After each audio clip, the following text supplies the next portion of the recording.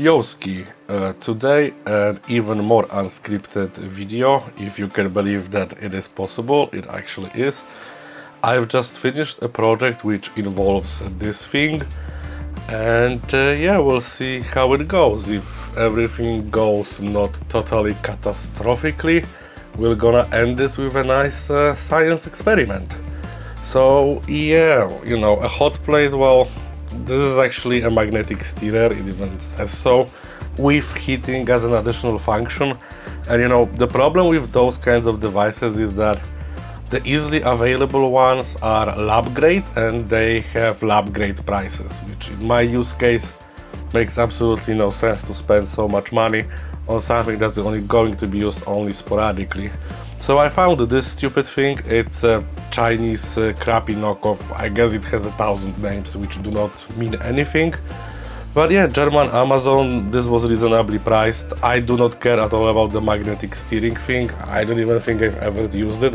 I don't even think that I've tested that it works. I care so little about it. But the heating, the heating seems to be working and uh, if you're wondering what's the main difference between this and your sort of uh, like a camping kitchen hot plate, well I would say the fact that the actual plate where you put your stuff is flat instead of uh, like having a texture or anything like that. And in theory the heating should be more precise, but again this is a cheapo thing. In any case with that intro, well the tweaks I've done to it, this white uh, whiteout marks here, uh, again this is like, uh, if you can even see this stuff, apologies, as I said this is all as we go.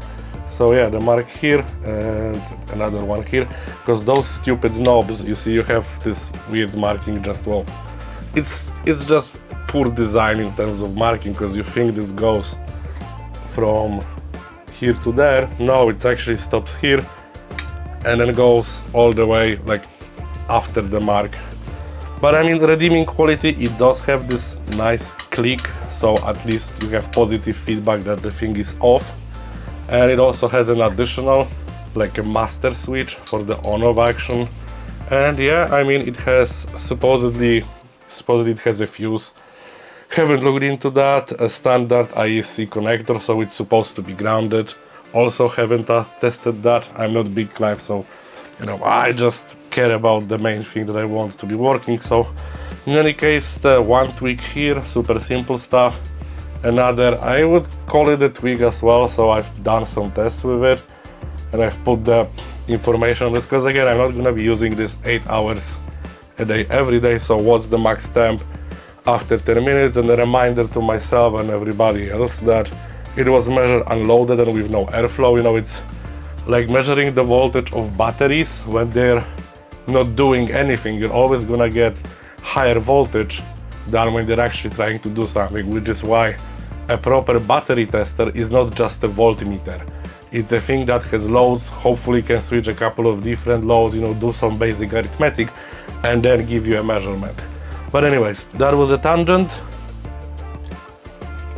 Uh, I think last thing about hot plates is that, uh, apologies, I should have started with this unmounted. So you do have this sort of a rod thing uh, for, I would say, standard lab attachments, like things for uh, keeping like rods in place or maybe even like a flask or whatever.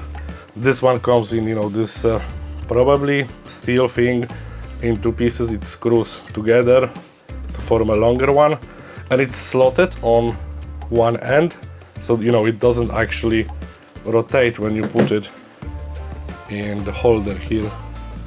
Let's see so yeah there's a, like a matching slot now this was so little quality, of so little quality that I actually had to grind this slot with my Dremel because it was like, again, like really nasty. And it wasn't even like fitting in properly. But yeah, in any case, that's the machine. Three tweaks into that, but this is not the project. The project, well, let's first assemble it.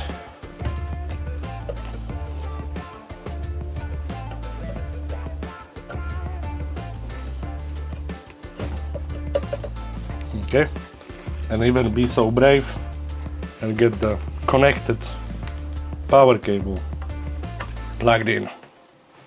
Yeah, no. So you have a chance of seeing the. So if you turn it on, the okay, yeah, master switch. It's there for a reason. When you turn it on, you actually do have, you know, there is a light. Now it's gone because it's off. So nice touch and good that at least such basic things work. Now on to my project. My project is in a plastic bag, as it should be. It's uh, this sort of uh, randomness here. And what it is, is, uh, well, you've seen that there is like no temperature control, there is not even a thermometer here. So I've made my own. And by made my own, I mean all the additional stuff that go with a thermometer, because the actual thing is the for me quite standard because they are cheap and useful. This sort of automotive uh, thermometer which has uh, and yeah this is this is the main part of the project. This is the thermocouple of the thermometer itself. And what I've done is this holding solution. So I found a piece of brass. I would call it a bushing but I have no idea. Just like a piece of brass that's uh, fitting the shaft. And you can see the idea of, of this. Here that even if you put something in you can you know like just put it down. So brass shafting a steel rod and I know exactly where this one came from because I took it out on my own from a hard drive it was like a sled sled thing for uh, for something in any case part of a hard drive then this bit here uh, I have no idea what it is. Um, you know, random bits and bobs. It's metal. It has an unthreaded uh, hole in this direction and then one threaded hole on top and another one on another side but like crisscross. So this one on the right, this one's on the left. Uh, I have no idea. I mean, it's not doesn't look like the sort of an electric thing where you put wire from one side and another from from the other side and just screw it together. Maybe it is that. If you were to ask me to bet, I would bet that this is part of some furniture thing from 70s or earlier. Uh, happens to fit the shaft here quite nicely. I found the screw that fits, so basically this is screwed now so that the probe is at the end, but obviously you can unscrew it and move the probe, you can rotate it. So I really like this design, it took some time to maybe not even figure it out, but like collect the parts and rather see what parts I have and what is the best solution that I can come up with. And this is uh, the thing. And you know, some basic zip ties for uh, cable management, because still the flexibility is an important point here. And yeah, I mean the shaft, I've drilled a hole in this uh, round thing by hand, obviously I'm getting better at that. And this fits in almost friction fit but not enough so I've added some polyurethane glue um, because I also wanted this you know like if you're gonna be like slamming this down to have some like vibration dampening and yeah this hasn't been used properly yet so we'll see how long it survives. But yeah and then you have a cable and this weird stupidity it's a it's a drinking straw just a cut on a uh, pencil sharpener into this sort of a well ribbon basically. A ribbon spring like yeah ribbon ribbon spring yeah so as you can actually buy like the proper ones. But the idea for this stuff is that it helps with like cable management once this is set. So yeah let me put the probe down. And now for the thermometer the idea is to have it you know somewhere here where you can see it. And uh, what I thought about well my idea here was glue in a small neodymium magnet and then use a small binder. You know really simple nothing fancy. Yeah I will actually show you the setup with but as you can see this is dead now because I took the batteries out. You know just not to drain them when the thing is not in use.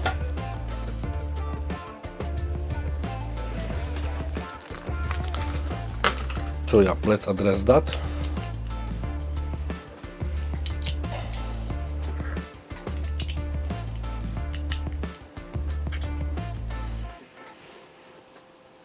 Now it's on and that uh, looks like an over temperature like I don't think this is actually 28 but anyways this again there's nothing here is lab grade so we don't have to care that much. Uh, do you have any chance of seeing that? Well very little. Apologies but basically the magnet goes here and then you tie the wire around and it should hold it just enough for it to be useful. I can actually read it on camera, that's great.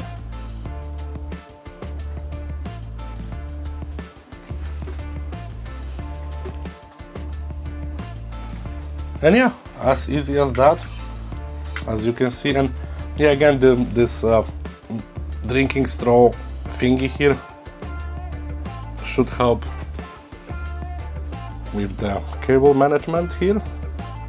Though the idea is that normally I would have it like as far up as possible because uh, you know I don't want to burn this stuff and uh, this is supposed to be used to actually hit other things, not just to demo it. But yeah. Let's do it the last time. Fumble, fumble.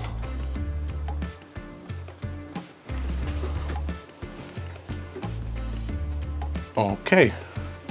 Somewhere in the middle obviously this is a cheap thing so no one should be expecting for the whole whole plate to have exactly the same temperature. It's probably has just like a resistive element like a spiral.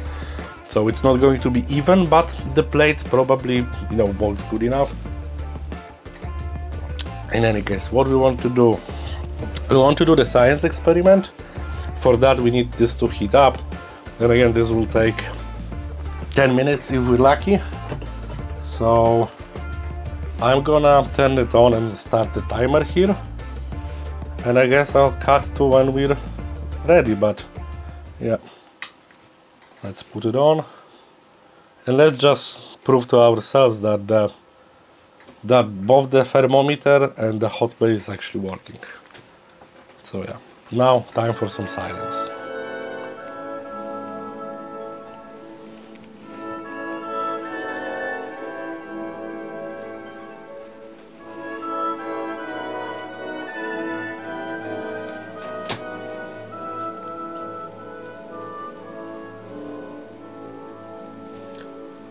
it seems to be working. And we are at 39 seconds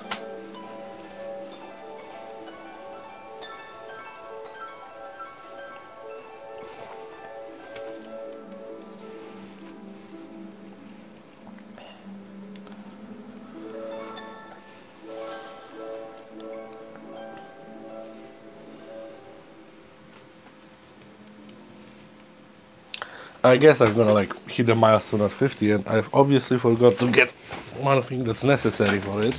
Well, for the science experiment. Let's get it now, but let's not make it obvious yet, just yet.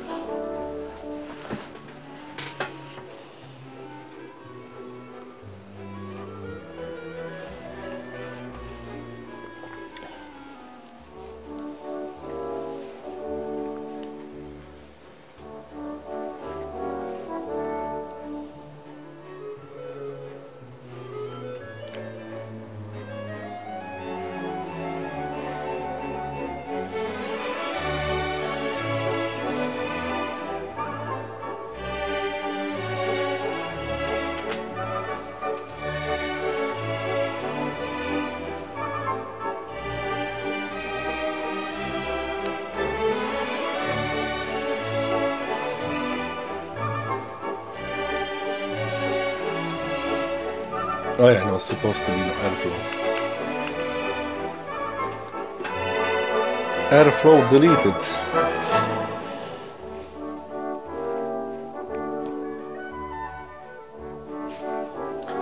Fifty degrees, two minutes, uh, thirty, well about two and a half minutes. Which, if it's actually gonna take ten minutes, means this is non-linear. And getting halfway there Takes only quarter of the time.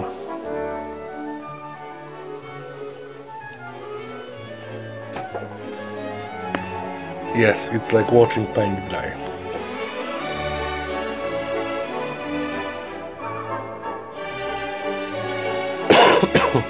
Apologies.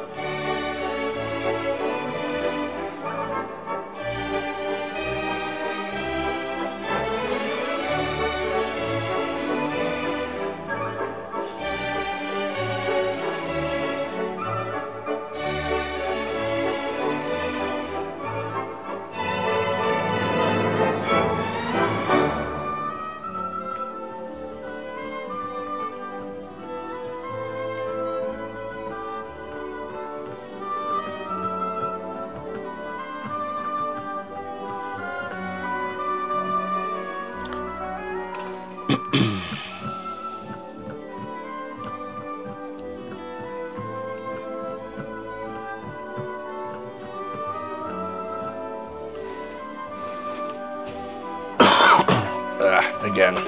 I'm not dying, don't worry, not yet.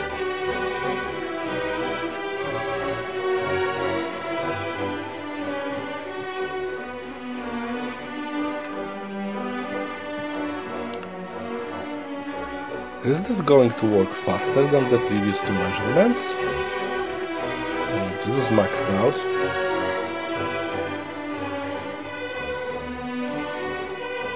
Interesting.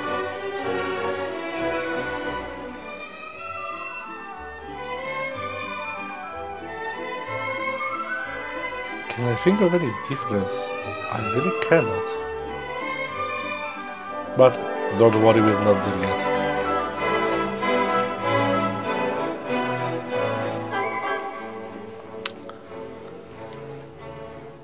And yeah, the camera positioning isn't perfect for our science experiment, but then again, nothing here is perfect, so at least the theme is the same.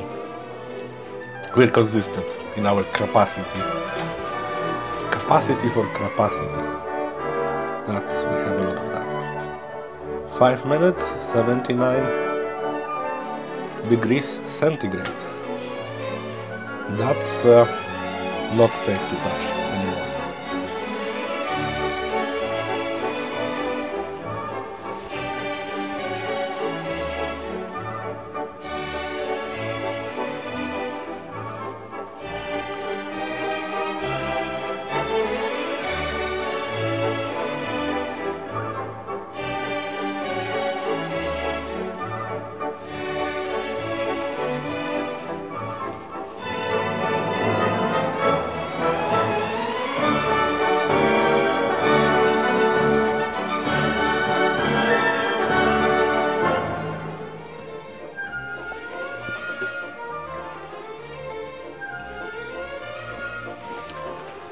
let me see if I can nudge you a bit.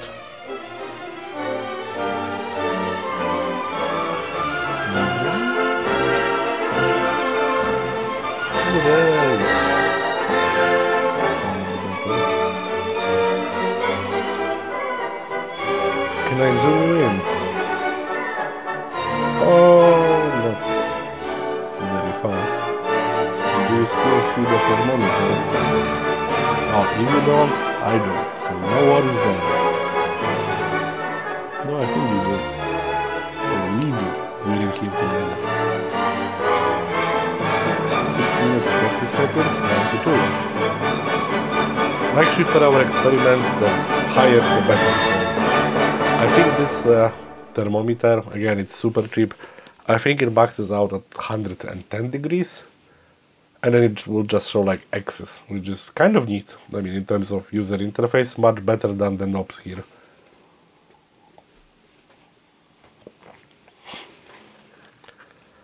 Seven minutes, ninety-six.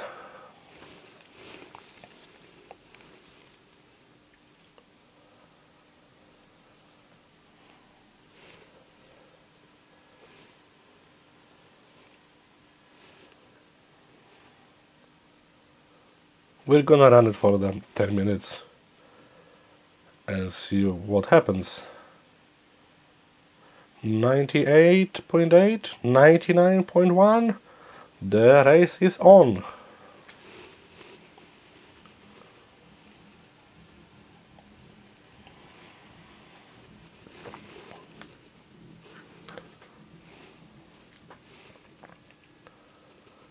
Hundred at eight minutes.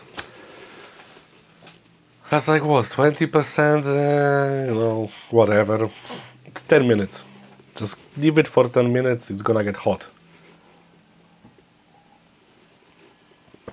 Which is not great, but also not bad. I mean, 100 degrees, well, maybe it's just not good. Because the question here is really what's the thermal capacity of this thing. I would assume not much of it. And what I mean is like, it's nice that it's 105, but you were to put like a beaker with water, it will immediately drop to like half of that. Because it doesn't have much heat capacity and the element itself is extra crappy, so yeah it says on the side of it that it's like 80 watts haven't measured it yet I actually have it connected to the local variety of a Kill A Watt but uh, I cannot check it without like having to go that way so like covering your view I will check it later I mean it's not gonna go anyway anyways we're one minute from 10 minutes and it's 107.8 to be precise. I mean, do you actually trust the digit after the point? Yeah.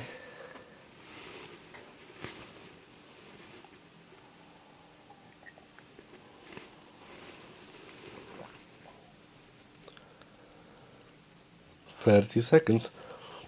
But you know, now when I think about it, I put it 108, not 100. So for 108, those 10 minutes, I mean, we're not 10 minutes yet, but it's just like a, not even, oh, okay, so 110, triple X.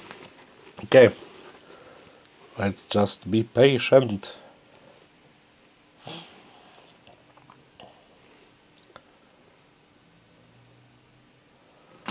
Okay, science experiment time.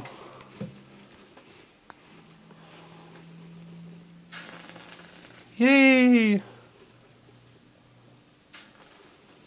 Oh, this one's nice.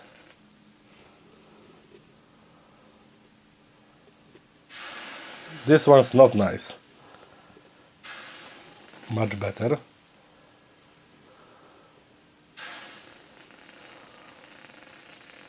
Very good.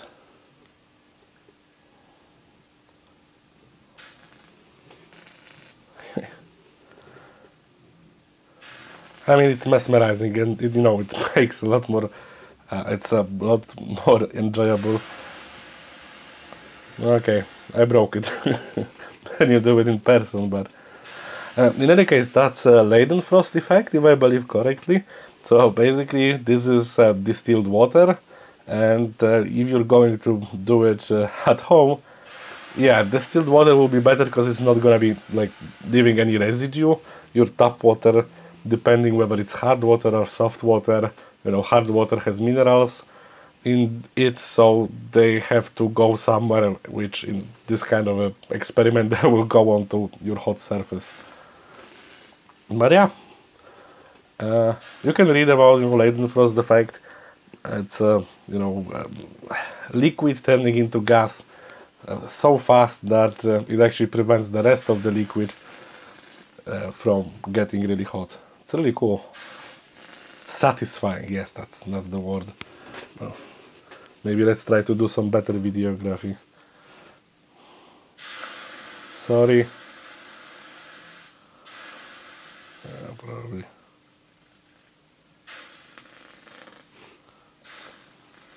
Dancing spheres of water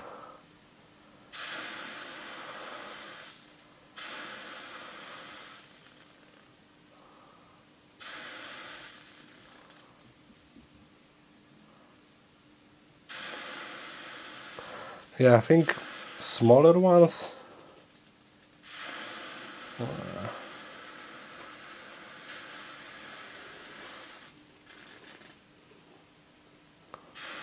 Oh, and one thing I found out uh, empirically is that you, you need this uh, like the hot surface to be clean, and by clean I mean uh, like finger grease stuff like that. It's uh, going to interfere with this. Alright. Enough of this uh, science fun. I certainly hope that this single 25 minute unscripted, unthought about cut is going to be good enough to be actually useful. Uh, let's see what's the temperature in the middle. About 100. In any case, the main point of the what I'm you know, like trying to share is this sort of an uh, thermometer probe. Ah, it's hot. Would have thought it. Alright. In any case, uh, thank you for watching. Bye.